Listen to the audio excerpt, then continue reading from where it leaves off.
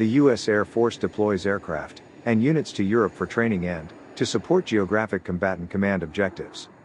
The U.S. Air Force also works with NATO and partner nations to address security and defense in Europe.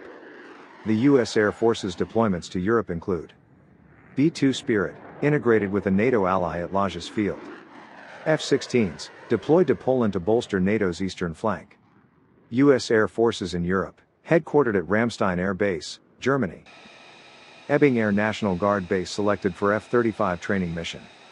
In a significant development for the United States Air Force, Ebbing Air National Guard Base in Fort Smith, Arkansas, has been chosen as the new home for a cutting edge F 35 Lightning II training center.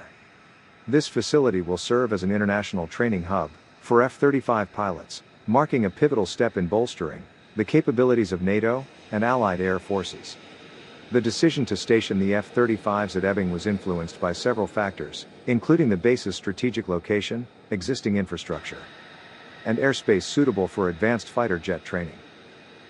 The move is expected to bring economic growth to the region, with job creation and infrastructure improvements anticipated as the base gears up to accommodate the new mission.